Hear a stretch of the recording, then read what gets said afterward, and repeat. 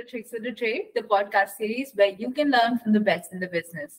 I'm your host, Rabani from CUR8, which is an IIM alumni venture and India's first revenue tech firm, where we enable leading startups and corporations to maximize their revenue potential by building the best revenue teams. Now, in these series, we invite industry experts such as yourself to share your mm-hmm you know practical tips insights and secrets of success. Whether you're an employee a student or a lifelong learner you will always find something valuable and interesting in every episode. Now today we have a very special guest with us Aamir Saiyed. Aamir Ahmed Saiyed an associate director of sales at darwinbox a renowned cloud-based human capital management platform with over six years of experience in sales business development customer success and marketing Aamir has traversed various domains including supply chain education and software holding an MBA from the prestigious Babson College in Boston. Aamir, welcome to the show and thank you for joining us today. So, can you brief us about your education and professional journey? Yeah. So, um, I think I uh, my my journey in education is something that a lot of folks from India, especially, would resonate with. Right, I I finished schooling and immediately went for my undergrad. I did an I have an engineering degree as my undergrad. Right. Um, right.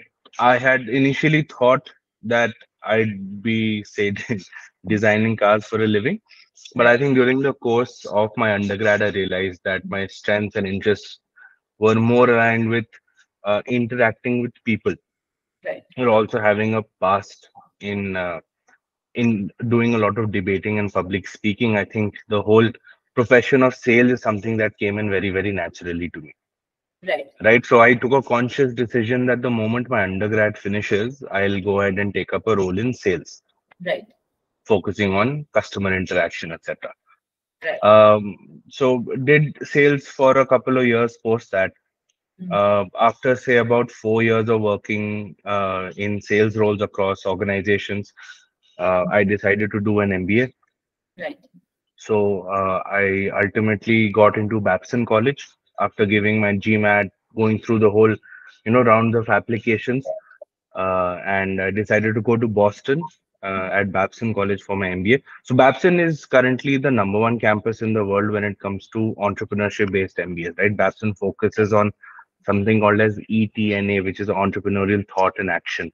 Mm. And uh, that's that's something which is at the core of whatever we do at Babson, and and that really attracted me to the course, the campus. So um, I did the full two-year MBA program at Babson. Right. And, and yeah, post that I went back to sales, which is where my interest lies. Right. So, uh, uh, speaking about your background as well, since you said you are from engineering, right? And then right. we were going to say like design cars and all of that. So, why? What right. was what inspired you to pursue a career in sales? So it's it's interesting right? So if you when i when i was in high school i got introduced to competitive debating right, right. one or two times is fun you do it for co-curricular. Then i started getting this thrill out of say convincing somebody on something or changing somebody's opinion or mindset right? And i really started to get a kick out of it. Right. So um, i think there are two professions that really adhere to this. One is law and the other is sales right sales was more of my calling uh, so i went i went ahead with that right so uh, in your current role what what does your mm-hmm. day look like in in Darwinbox? so if you should talk about a typical day the the the, the life of a salesperson mm-hmm. right is like there's a lot happening there are accounts that are at different stages that you want to nurture. So the the day starts with planning. I would say 10% of my activity is planning. Right. I'm very methodical in my approach. Like I use a tool called Trello, which is a project tracking tool. So I put all my deals over there. I, I try and see what I need to work on today. Right. Uh, that's 10% of my day. Uh, 60% from there is actually client facing, right? Whether it's an whether you're introducing yourself, pitching, Mm. Uh, you're doing a product demonstration, you're following up, you're giving a reassurance. 60% is actually interacting with the client. Mm. Whether it is in person, whether it is on phone, depends on you know how your current business uh, is going on and how bad the pandemic is in the world. Uh, the remainder 30% uh, would be 20% of that would be uh, deal structuring right, right? so when you're in sales uh, the the proposal that you make and how you structure a deal has a huge impact on um, you know how your client receives that. So a lot of my day goes about how you want to show a particular pricing how you want that to be worded what should the proposal look like? Right, right? it's very easy right? every organization will have a sales deck and it's very easy to copy paste slides from there.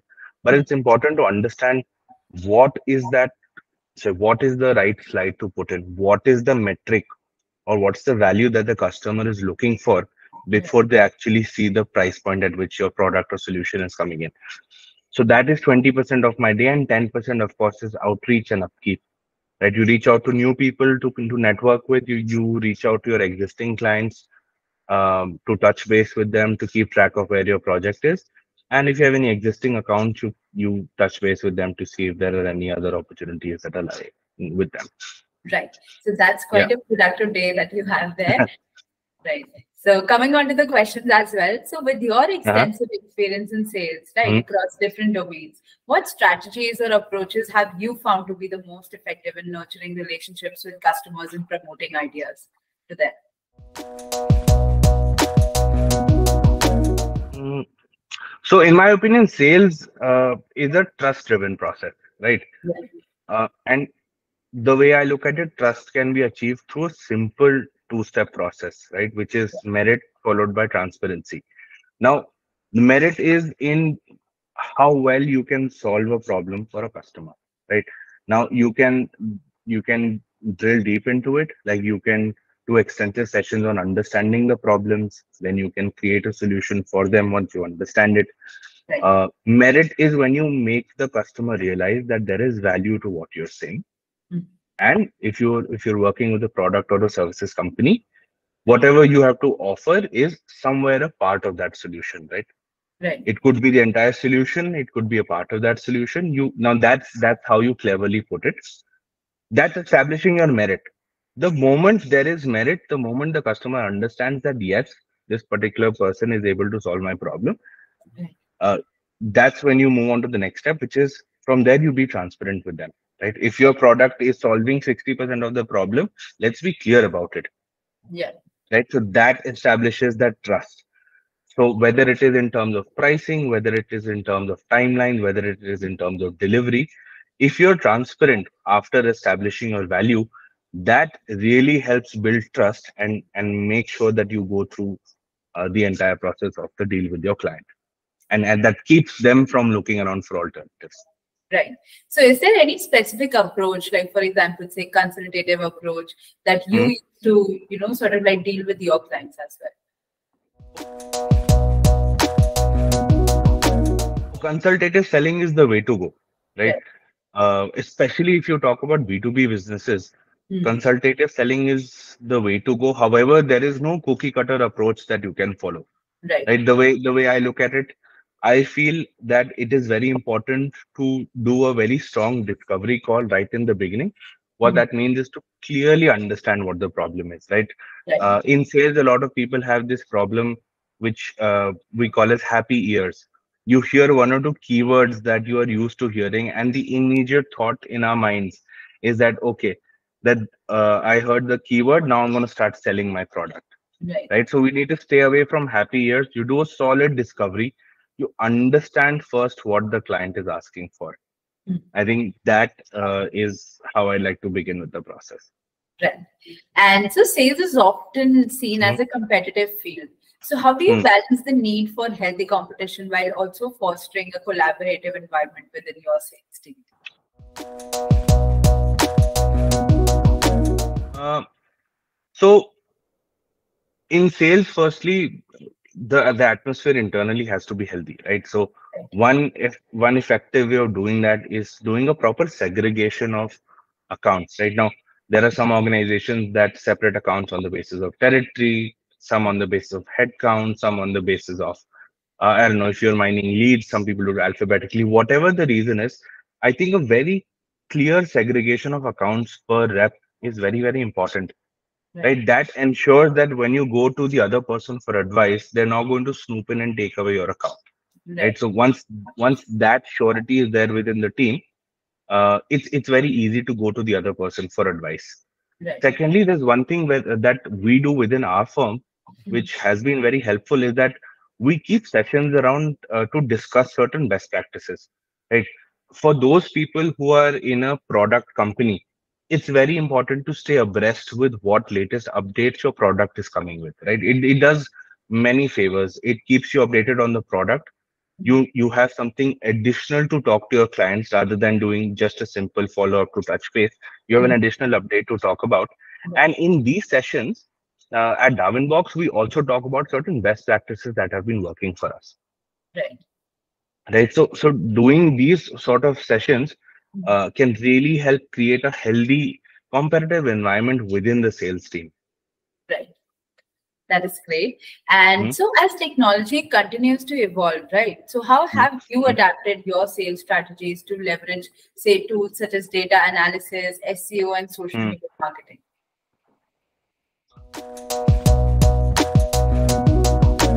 See, social media is bread and butter for any kind of sales that you do, right?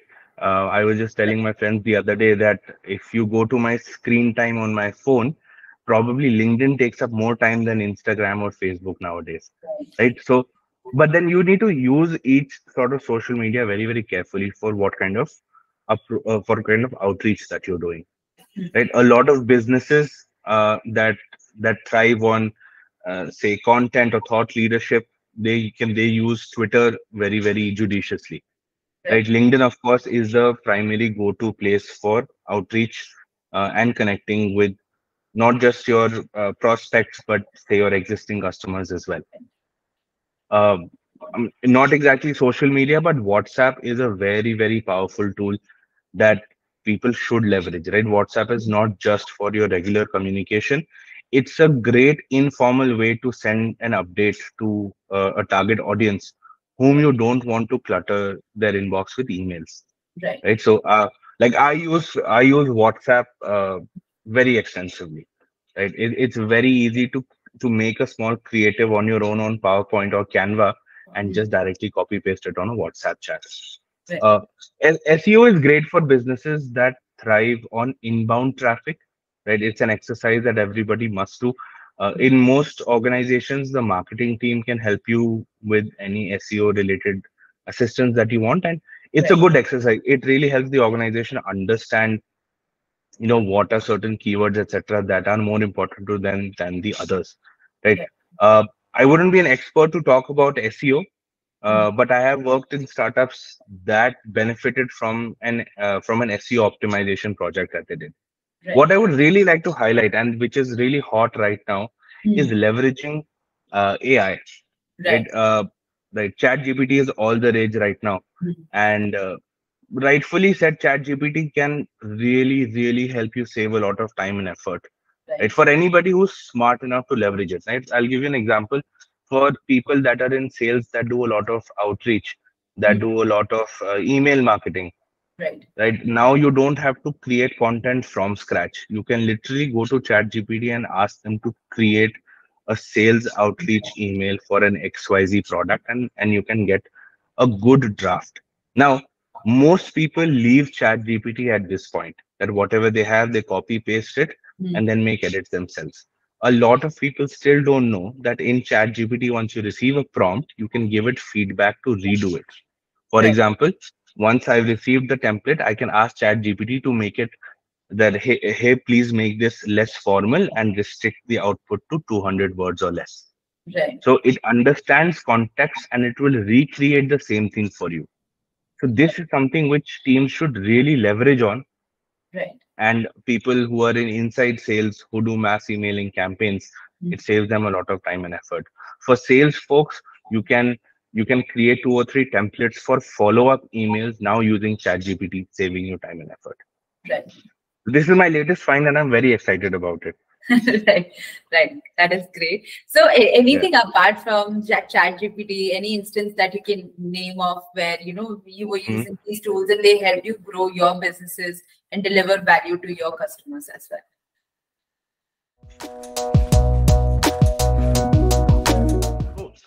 I mean, I'm a college student at heart, right? So the tools that we used for all our projects in college are enough uh, to help you with any sort of sales related uh, outreach or campaigns that you're doing right? What are the what are the um, softwares that we use during college? We use canva to create any sort of graphics right?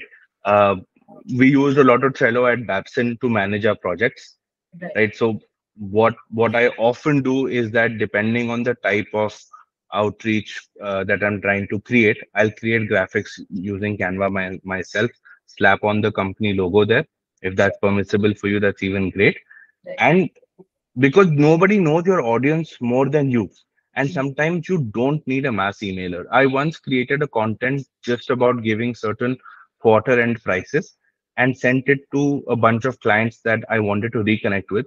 And you won't believe two of them actually came back to me with that. Right? Just because the graphic that i found on canva was eye catching Right. right? So that so that eye catching graphic that you want to send out doesn't necessarily have to be a campaign that is released by marketing approved by your cmo right? Personal initiative the good old elbow grease can also help you with those things. Right. That is great. Yeah. And so building strong customer relationships is crucial for long-term success in sales. Hmm, So hmm. what are some of your key principles or practices that you follow to establish and maintain these relationships throughout the sales process? Uh, as I said, you know, the sales process is very trust based. So Yeah. it's important for anybody to be genuine. Mm. Right. Today, if anybody is trying to fake anything to build a rapport or maintain a relationship, people can smell that from a mile away. Right. Right. So you be genuine. If you if you actually like something or have a common interest with the client, only then do you share that. Right. Right. Not trying to find fake connections. I know a lot of people uh, no ill intentions, but try to find whatever commonality they can between them and a prospect on LinkedIn and try to harp on that. But people can tell how how forced or far fetched that is. So, Right. firstly, let's try. Let's all try and be genuine.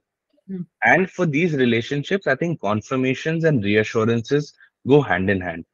For my clients, I always give them confirmations along each and every step of the sales process Hmm. of what is done. For example, if I need to get, if I need to create a proposal, right? Right. So if the annual, sorry, if the average time taken for a proposal to get approved says 48 hours. Hmm. So the moment I finish my proposal, I would update my client Right. that hey, the proposal has been completed and it has been sent to senior management for approval. Hmm. Right. So the, that's a confirmation that you're giving to the client that the work is happening in the background. Right. Then, if the proposal is not received the next day, you reassure them that hey, I told you you're gonna get it by Tuesday. It's 10 a.m. Uh, you'll definitely get it by EOD. So that's a that's a series of confirmations and reassurances that you can give that can really help you build these long-term relationships. Of course, everything that I'm and that I'm saying right now Hmm. is intertwined with the fact that you start the relationship by building trust with the client, Right. right? And then you do all this to make sure that it's a long-term relationship. Right. And in, in your experience, what are some of the common challenges that sales professionals face, and how do you approach, uh, you know, how to overcome them? Okay. So Yeah. for a salesperson, uh, I think the way I look at it, prioritization or the lack of it can be a huge challenge, right? It's very easy to get overwhelmed Right. if you have a lot of accounts coming your way, right? There are people, a, a good example is that, say, your organization ran a marketing campaign Hmm. that was successful and you got tons of leads from that campaign. Now, Right. sales is a time sensitive role, which means that when the lead is hot, you have to act on it. Right. But if the volume becomes high, it's important to prioritize, Mhm. right? Do you want to work on 10 simultaneous projects which are of a lesser value? Or would you want to work on four larger projects but nurture them really well? Hmm. Right? Easier said than done, but this prioritization is something that people should be doing very, very carefully Right. to so that their that time, uh, effort, resources are put in the right way. Right. Right. Uh, I've been talking about Trello, so I use that extensively to understand which project is at what stage. Right. Another tool that a lot of people can use is a simple Eisenhower matrix. Right. An Eisenhower matrix is a simple two by two matrix that helps you understand or that helps you uh, define what task for that particular day is urgent versus important, right? right? It's a very, very basic, it's a step zero procedure, but sometimes it gives you clarity on how you want to proceed with your day. Right. One thing that people should be aware of is the sunk cost fallacy. Right? Sunk cost fallacy is a decision making trap mm-hmm. where we tend to nurture a project even when it's dead just because we put in a lot of effort in it earlier right, right. it's a very common decision making mistake you mm-hmm. spend six months on a project uh, right. but the project is giving you no returns right? it's difficult sometimes for people to sever that arm mm-hmm. right you, you want to keep nurturing it thinking that i'll give it one more month maybe it'll give results right. but sometimes you have to take that hard call so that sunk cost fallacy is something that people should uh, be very very aware of then there is something called as the confirming evidence trap right sometimes we tend to lean towards evidences that support our mindset and move away from an evidence that that actually denies it for example say there is a deal that a salesperson is working on mm-hmm. now your project champion. Is giving you hints that yes this project might work. And you're picking up on that. But in your last interaction with the decision maker you did not get a good hint. Or you or the, you know you picked up on signs that this deal is not working out. Mm-hmm. now a lot of people tend to ignore the fact that the senior management is not convinced and end up spending their time and effort only pushing their primary stock. Right, right? so this is a confirmation confirming evidence trap which people should stay away from. It's very very important. And lastly the biggest the mother of all challenges that a salesperson should stay away from is burnout.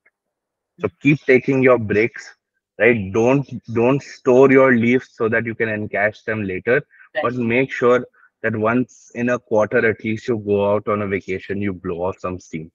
Right. That, very, that's very great advice. right. Had I taken my advice, maybe I didn't have as many grades as I do right now. right. So, as an MBA graduate from Babson College, you likely mm-hmm. gained you know, valuable insights into leadership and business development. So, how have these mm-hmm. learnings influenced your approach to sales, and what advice would you give to aspiring sales professionals looking to advance their careers?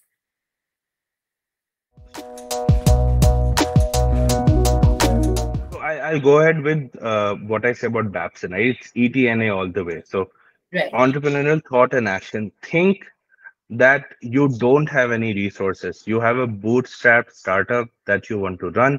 It's your venture, it's your baby, it's your responsibility, and you are your only assistants. The moment you have imbibed this, it's so much easier for you to actually develop a particular business. Now, and this can be used in multiple scenarios. Whether you are new in sales and you want to pursue a particular prospect, don't count on your marketing team to send you those email templates that have worked for you in the past. Those are a good to have, but don't waste crucial time in waiting for those to come in. Right? Mm-hmm. Start the outreach on your own. Right. One thing that Babson really taught me is that people are like people are receptive uh, when you reach out to them um, and you ask for advice. Right? A lot of times people um, feel that okay if i'm reaching out to a cxo on what they have to think they may not respond they may not entertain but more often than not people who are in leadership positions they they respond to your outreach right uh, the thing is that there should be merit in what you're saying right i always make sure that my linkedin messages are never about hey would just love to be a part of your network mm-hmm. right there's a there's a term in sales called WIIFY which means what's in it for you so whenever I reach out to anybody, I make sure that they know that what's in it for them if they take out five minutes to speak with me. And the moment you do that with confidence and knowing that you're making sense, the hit rate goes really high. And that that also establishes a lot of credibility for you as a salesperson in the eyes of the senior stakeholder. Right. That is some great advice. And so, coming on to uh, any any, do you have any memorable sales success story when your efforts made a mm-hmm. significant impact on both the customer and the company? And what were the key factors that contributed to this success? Mm-hmm. Uh, so yeah, there is uh, there's this one account I remember. Mm. It's a story about pure elbow grease, right? Of how sometimes pushing for things works in your favor. So there was a manufacturing slash automobile sort of client in the remote parts of North India. Mhm. And that was a deal nobody really wanted to pick up. Right? The uh, the client was not very, very approachable. They were far away. And um because of the pandemic, of course, we were facing problems in meeting up anyway. But I was new in the firm and I realized that I got nothing to lose if I if I just go and meet them for a day. Right. And of course, I told you my approach has always been to do a very, very strong discovery in the beginning and Mm. establish your value right there. Right. So I went on that three hour drive to their office. I sat down with them. We did a half day meeting. Mm. They were kind enough to, to offer me lunch at their factory itself, right? So got to bond with the entire team. Mm. Great meeting. Lot of effort went into the demonstration. That meeting did not turn into a deal. Right. Disappointed, but I was ready for that. Right. But the impact that was made, the impact that I could create in that meeting, they saw somebody took out time, drove all the way, spent half a day with them, didn't immediately start pitching, right? First understood the problem, then offered the solution, Mhm. then showed where his product actually worked, right? So that I think really stuck with him. Three months later, the same firm called me back Mhm. saying that we're interested to have that conversation again. But this time it was with their head office. So the size of the deal went almost two and a half times from what it actually started with.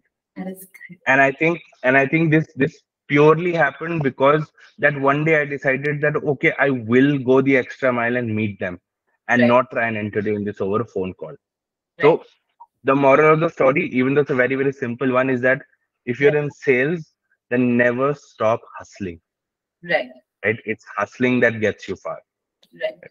So this is a very, very simple story, but very close to my heart because that one drive, that spending half a day with the client really turned things around. Right. That is great. And so speaking about successes as well, so Mm. I, believe in, in sales there are rejections as well, right? So how do you Mm, deal mm, with mm. those rejections?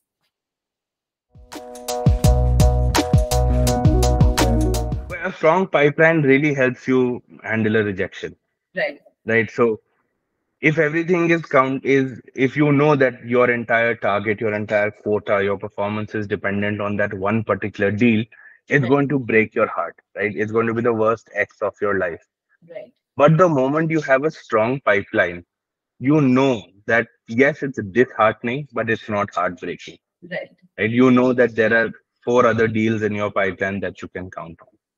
So that for me really helps me with rejection. Also sometimes trying to understand Mm. that the the success or failure of a deal is not dependent on the efforts of the representative of the person who's running that deal. Right? There are so many external factors that come in right? You might be doing the best of sales meetings pitches demonstrations but the if the priority of the organization changes then there is nothing that you can do to change the outcome of that deal in that instant. Hmm. so you like anybody who is in sales should be able to detach themselves from the deal. I know easier said than done. It's so it's so easy to feel dejected once the deal fails.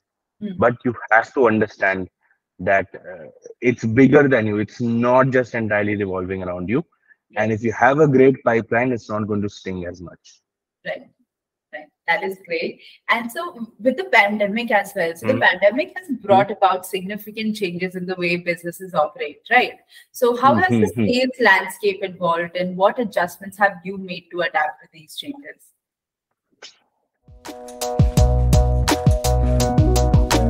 I think the biggest adjustment every business made was that you know we all switched over to virtual calls very very easily Right. right what you and i are also doing right now Right. so we switched to our google meets and zooms of the world very very quickly but i think one thing that a lot of people are not doing is humanizing that act Right. that today if you're doing a business meeting with a team i strongly advise everybody to turn on their cameras right that humanizes the act you know that you're talking to a person Right. um, also the impact is is very very different when you actually see the person right? You can read the tones, you can see how they're responding, you can do a lot of course correction.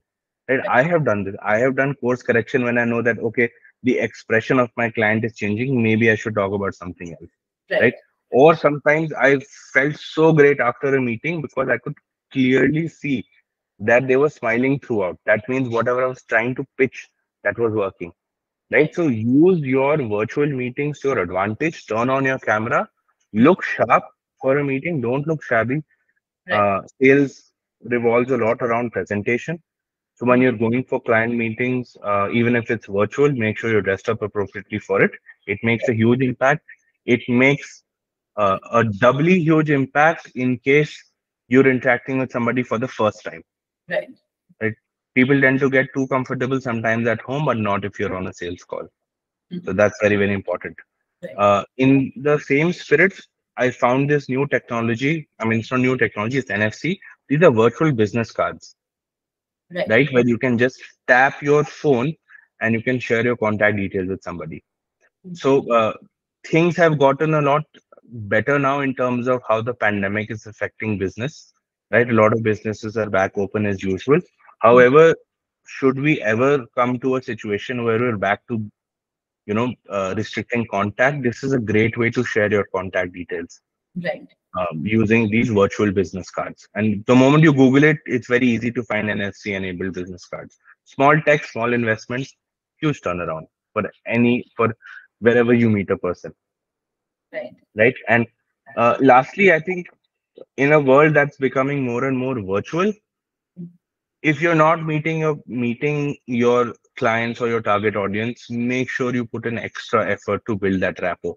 Make that one extra call do that one call which is not so much about work or update right humanize that situation if you have a genuine shared interest talk about it right cricket is is the biggest religion in the country. If you and your client share that interest please talk about it. Doesn't always have to be work. It's these small things that make you look like a normal person and not a textbook salesperson for the client. Right. yeah. So these are these are things that i keep in mind. Right. So that is some great advice as well. So sales mm. can also be a very high in pressure, right? With targets and quotas to beat. So how do you maintain Absolutely. motivation and keep your sales team engaged during these challenging times?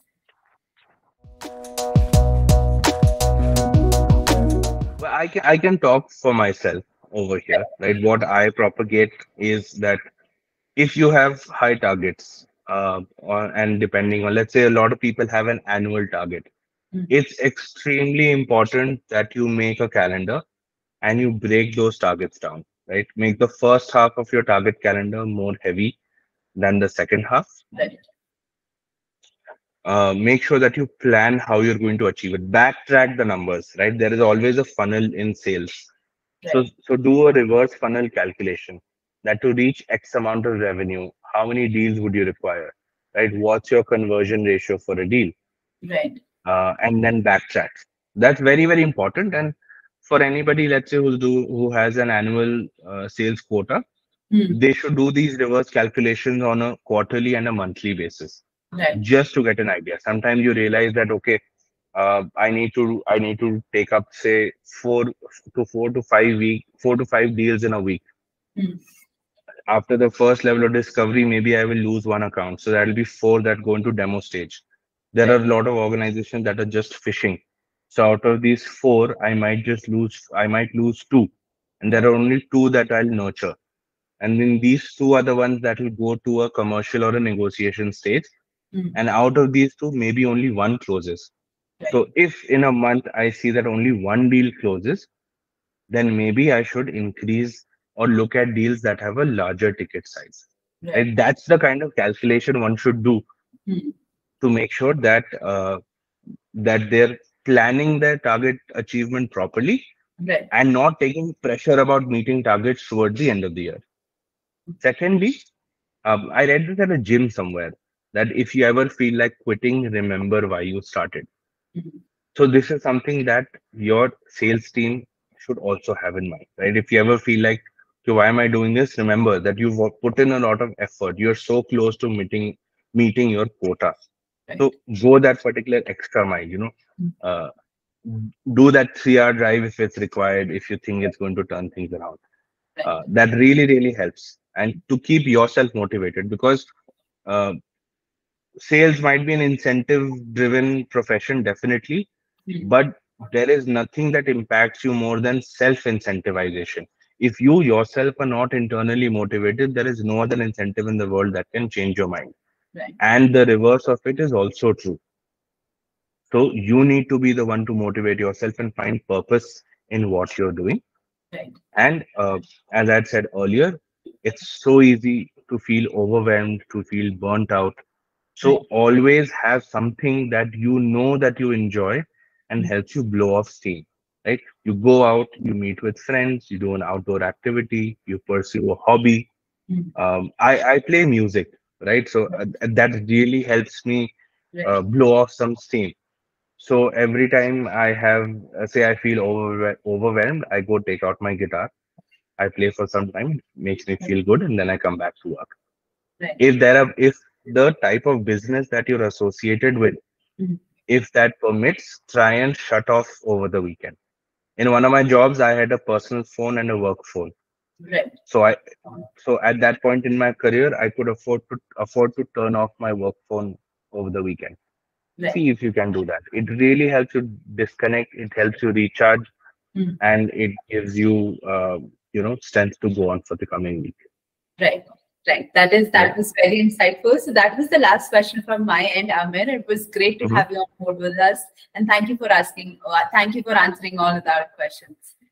Absolutely my pleasure to be on board thank you for having me over Thank you. and uh, yeah i'm happy to help any other way that i can i hope i hope everything that i said makes sense these are all things that i picked up from experience right. and talking to people who are in the industry as experts if anybody is able to benefit from anything that i said i'd be more than happy Right. Thank you. Thank you so much for your time, and thank you so much for coming on board with us, Aamir. Thank you. my absolute pleasure take Have care a great day. Bye-bye. Bye. You too. Bye.